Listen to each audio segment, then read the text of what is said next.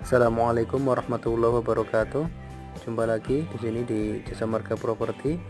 Bisa dilihat dari depan rumah dengan ukuran 6 kali 15 yaitu di sebelah kanan ada carport dengan ukuran 3 kali 5 ya 3 kali ya kemudian di tamannya juga 3 kali 5 sekarang kita akan menuju di ruang tamu di ruang tamu ini ya berukuran 2 kali 2 meter persegi sangat minimalis.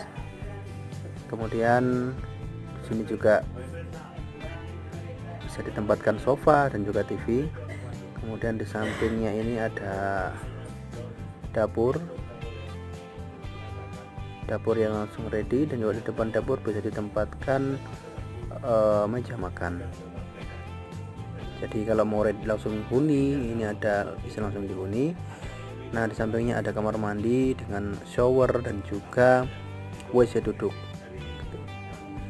Di samping kamar mandi terdapat uh, tempat penyimpanan barang-barang. Bisa dilihat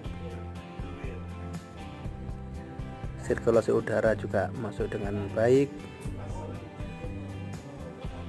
Kemudian selanjutnya kita akan menuju ke kamar belakang ke lahan belakang. Jadi karena rumah ini dua lantai jadi sisa tanahnya yang 6 kali 15 akan sangat luas sekali sisanya.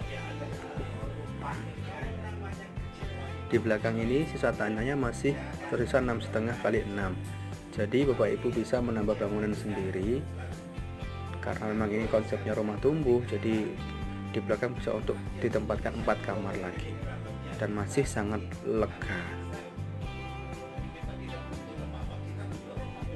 Nah, kemudian kita akan menuju ke lantai dua.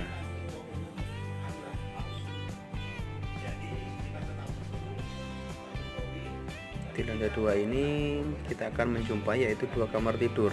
Satu kamar tidur anak dan satu kamar tidur utama. Di kamar tidur anak dengan ukuran dua kali 2 2 kali 3 meter ini kita tempatkan uh, jendela yang sangat besar sehingga sirkulasi udara kemudian udara juga kemudian cahaya juga masuk dengan uh, maksimal sehingga membuat ruangan akan menjadi lebih luas. Mengingat tempatnya yang uh, minimalis karena kita konsep seperti konsep apartemen dan juga kita sistem rumah tumbuh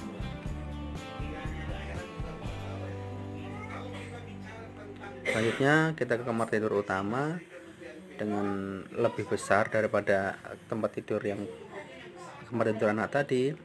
Di sini bisa ditempatkan spring bed kemudian eh, lemari dan juga televisi dan juga sirkulasi udara yang sangat bagus